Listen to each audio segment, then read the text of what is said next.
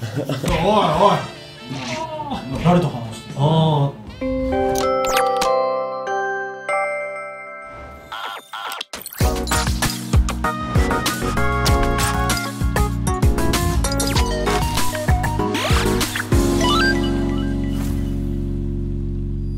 嗨，Hello，大家好，我是志奇，欢迎回到我们的神秘职业大揭秘。那今天我们邀请到重量级来宾哦，也是日本人气 超高的 AV 男优北野祥以及上原千明。那除了他们会分享 AV 男优的这个秘辛之外呢，也会请他们传授大家几招。只不过在开始之前呢，先让我们进行一段工商服务时间。你是行销人员吗？是否曾经想过怎么让自己的品牌在茫茫的广告媒体当中吸引到大众的目光呢？或者有新的产品服务需要把抽象而且复杂的资讯有脉络的解释给消费者呢？或许你可以考虑用动画来解决哦。简讯设计长期为企业制作形象动画，用创意啊有温度的故事。传递核心价值，而且五十 percent 以上观众会因为动画而提升对于品牌的好感度。另外，也有专业的解释型动画，透过视觉的转化，一步步让受众了解产品的功能或服务。不管是什么类型的专案，我们的团队呢都会帮你从前期计划到影片制作，帮你规划好一条龙的流程。此外呢，如果你还有像是其他的 logo 动画啊、频道片头，只要是跟动画设计相关的需求，都欢迎来信洽询哦，价钱都好谈。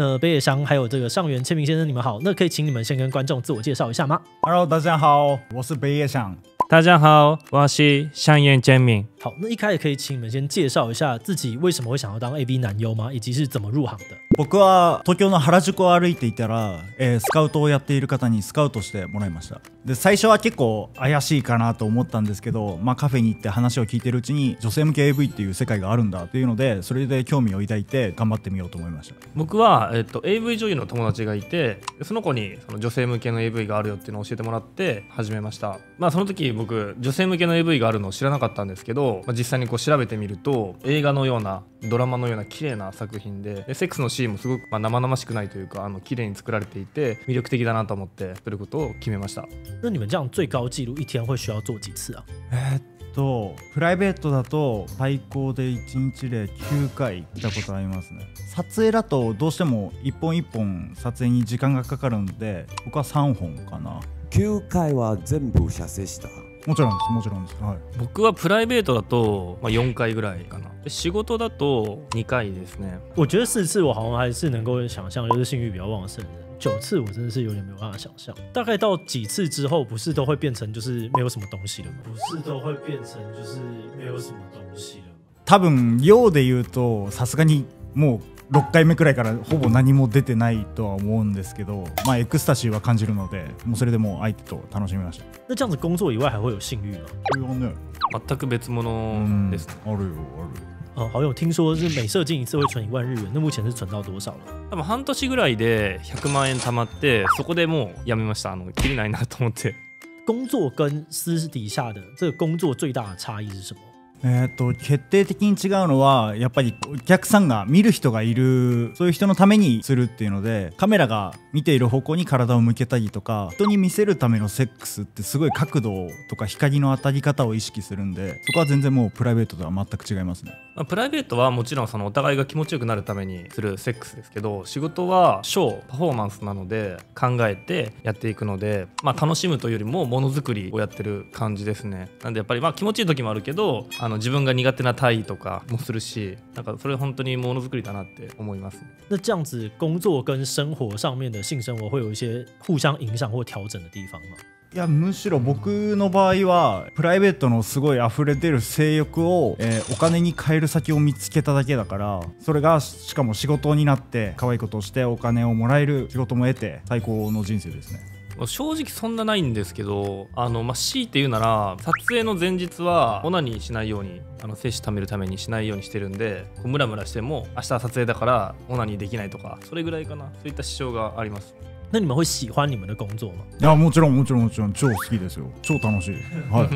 僕も大好きです那听说你们主要拍摄的其实是女性向的一片，可以简单的介绍一下这个是一个怎么样子吗？因为一般的观众可能都是以男性向的为主。えっと、決定的な違いは、まあ、男性もかなりメインで映る普通の AV だったら男性はあんまり映らないようにとかカメラをよけるように動いたりするんですけど女性向けはあくまでイケメンと女の子が恋愛をしたりとかしているっていうのを見せるんで僕らも結構見た目とか気を抜かないようにはしなきゃいけないです。あの男性向けのその普通の AV だとカメラがスタートして用意ドンでセックスが始まるんですけど女性向けの AV の場合はそのセックスに至るまでのプロセスをしっかり描いていてなんでそのセックスをするかっていう例えばバーでなんだろう幼馴染と久しぶりにこう会ったとかそういうセックスに至るまでの経緯をすごくあのリアルに描いていてかつその女の子が見てキュンキュンするようなポイントドキッとするようなことを、えーしっかり入れて売られてますね。那当一个女性向 A 片的这个男优，会需要哪些必备的条件吗？別に必要なライセンスとか別にないんでもう誰でも別に応募すればもしかしたらなれるチャンスがあるのかもしれないけど結構やっぱり顔が顔の良さが必要っていうのと女性に対する優しく接せれる演技力とか普通の AV 男優とは違って必要になってくるかなって思います。まあ今彼が言ってくれたことが結構ほとんどだと思うんですけど、まあ、それ以外で言うと女性向け AV に出ると AV だけではなくて雑誌だったりテレビだったりいろんな仕事が来るんですね。そのパブリックっていうそのあの見バレしてもいいですよっていう条件を提示しないと出演することは難しい。です大体あの AV の仕事を半年くらい続ければ自分ちょっと向いてないなとか大体まあ半年やればその人の素質がわかるかなって思います呃，那对于男优来说，拍可能男性向的 A 片跟拍女性向的 A 片，它的片酬会不一样吗？もちろん女性向けの AV の方が高いです那你们一个月这样会通常要拍几支片呢？僕は8本くらいかな。普通の AV も含めて月によって違うんですけど、まあ、少ない時だと8ぐらい。でも多くても15ぐらい。今まで最高は15本ぐらいかな。哇，那这样子平常还会有其他的时间去精进自己的性愛的技巧吗？セックステクニックについては実際にやってみないとうまくならない場合もあるし相手によって反応も変わるから僕はあの基本的に仕事でちゃんとどんどんどんどん身につけていってうまくなりました因为呃常常在拍片，这样子会不会在私底下的性爱的时候会有一些职业病，然后好笑的状况发生？えーっと まあ、どうしても、えー撮影でするセックスって45分の尺があったらその間に、えー正常位とか非常位バックをやって最後正常位で胸に出すとか決まっているわけでペース配分を考えないといけないんですけどそれが染みついてしまってプライベートでもあ5分くらい正常位したからそろそろちょっと騎乗位にしてもらおうかな。まあでも AV 女優じゃないからそこそこそんなに長い時間騎乗位できないからあじゃあ3分くらいだけやってあと8分くらいはバックにしようかとかいろいろ考えるようになっちゃいました。仕事でのセックスはお互いが気持ちよくなるというよりもお互いがこういい作品を作るパフォーマンスなのでプライベートでする時とかはただお互いが気持ちよくなってるだけのセックスをしてもいいのかなっていう気持ちになったりしますね。那在这拍摄的现场当中，可能会遇到一些状况嘛，像是直觉想到，就例如说无法勃起的时候，那这种遇到的时候，现场要怎么样处理？どうしても体調のことなのでこれは結構人によって解決方法違うんですけど僕はなんかもう一回シャワー浴びてメンタル的にというか全てリセットするようにしてますね。まあ、男性が立たない理由って結構あの精神的な部分が大きかったりするんですよ。ストレスとか。と全てのこの立たないかもって思った男性に立たせるための思い込みの設定があってぜひちょっと使ってほしいんですけど。知りたい。自己暗示をかけることでしょ立つための。あるんですよ。何撮影現場って男性が多いからほとんど女性いないじゃん。今地球上にこの裸の女一人しかいなくて俺がこいつを妊娠させないと人類の子孫がいなくなって滅びてしまう。だから俺は今人類の今もう全てのこの後の人類枝分かれしていく人類の全ての責任を負ってだから俺はもはやアダムなんだよ。イブなんだよここから人類を改めて想像するぞっていう気持ちでやるともうどんどんどんどん生存本能がやるぞってなって。あ興奮じゃなくてね。そうだからもう精子たちがみんなわーって。人口が立つ。まあ僕は毎日あのカウカウスウェイするようにしてるんですけど 精子が結構リセットされてどんどん新しくなる男性ホルモンのテストステロンも活性化するからまあやるようにはしてますねはい我觉得蛮合理的，对我来说是非常合理的一件事情。那我这边想到的是，因为有不少男生其实不太喜欢跟其他的男生有肢体上面的碰触，那但你们应该会常常遇到可能是比如说两男一女啊，或者 BL 相关的这些剧情，那怎么样去克服，或是怎么样去看待这件事情？あんまり男同士で体を触れ合うような撮影はそんなにないけど、まあ、もし気が許せる相手ならね全然触っても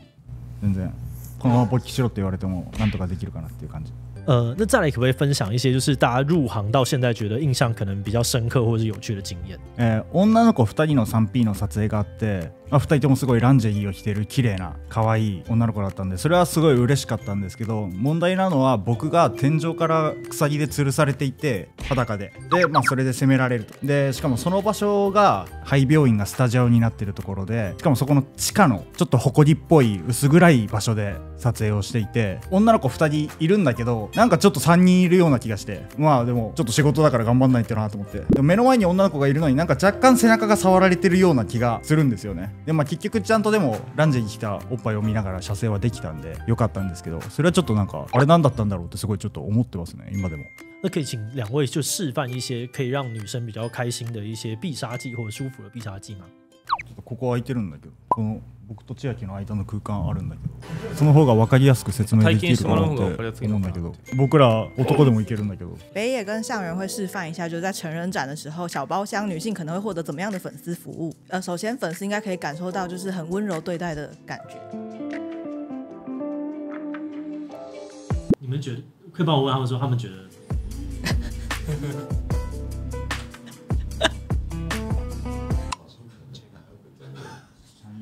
おいおい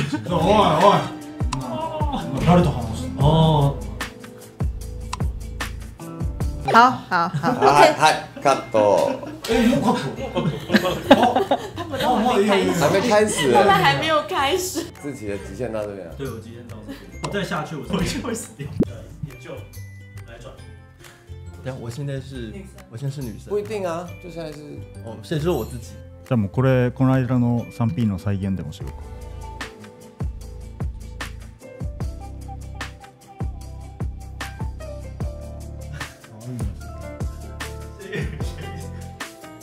跟大家介绍一下，咸鱼是我们公司在学表演的，所以他已经进入他的状况了。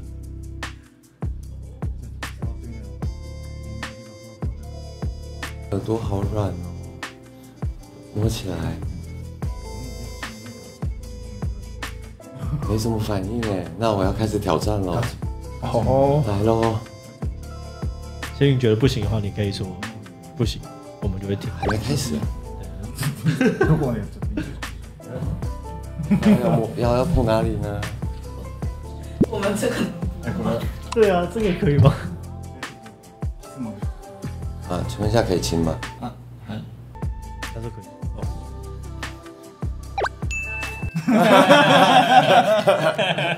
咸宇觉得如何？觉得光是从言语上就会觉得说，好像一直在被称赞的感觉，觉得 好像会被撩起来，对，然后会觉得说啊，他是这样在呵护我，这样子，透过言语的方式这样子，然后用很深情的凝视，然后会让你觉得说，他现在眼里面只有我，这样这种感觉。OK，好，感谢。那在日本这样子，大家会对于 AV 男优的这个身份有什么异样的眼光吗？いややっぱりなんかちょっと変わったやつとかなんでわざわざその仕事してんのともなるしあとはえすげえ！ってどうやったらその仕事になれるの？誰とやった？ってすごい興味を持つ人もいるし結構様々かな。いいか悪いかすごい分かれる気がします。もちろん軽蔑する人もいると思いますし、ただやっぱり最近そのまあ、AV 女優とか AV 男優の人間が、まあ、SNS でインフルエンサーになったりとか、まあ、最近やっとこう認め世間に認められてきたのかなと思っていてなのであのやっぱ出会う人々にまあ羨ましがられたりとかパーティーとかやるときに面白いから来てほしいとかそそういうふうに呼んでくれたりとか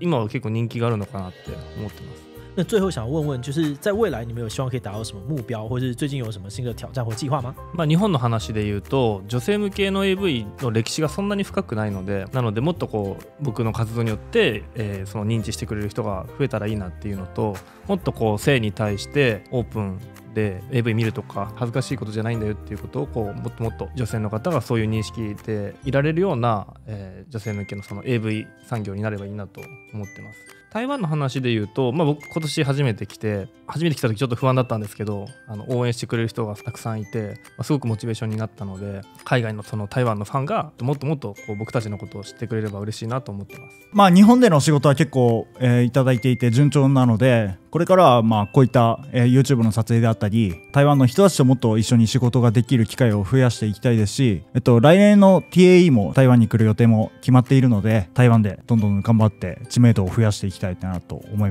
好，那今天真的很谢谢北野祥，还有我们的上元千明先生跟我们分享那么多精彩的内容。那大家也要记得支持正版的片源。那大家如果喜欢今天的影片呢？也别忘了把影片分享出去，或是点这个地方，看更多的神秘职业访谈。那么今天的这一期期就到这边告一段落，我们就明晚再见喽，拜拜。